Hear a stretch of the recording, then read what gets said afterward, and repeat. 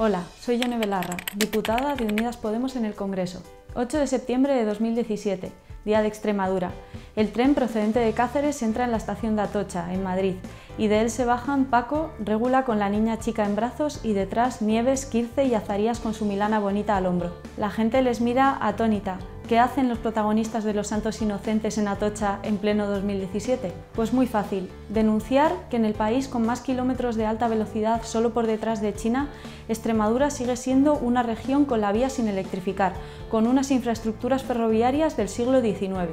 El Partido Popular sigue sin hacer nada y después de seis años en el gobierno sigue escudándose en la gestión del Partido Socialista. Mientras tanto, este verano, más de 30 averías se produjeron en los trenes con destino u origen Extremadura y el trayecto entre Madrid y Badajoz sigue siendo de más de 5 horas y media.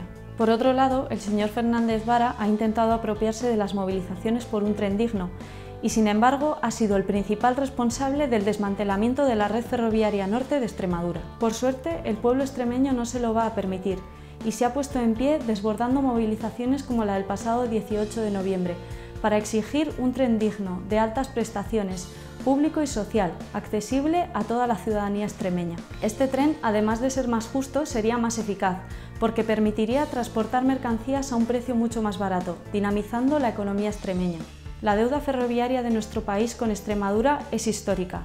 Por eso esta semana le he preguntado al ministro de Fomento, al señor de la Serna, qué piensa hacer para que los extremeños y extremeñas tengan un tren digno, me ha respondido como siempre con mucho argumentario y grandes promesas, pero tenemos serias dudas de que las vaya a cumplir.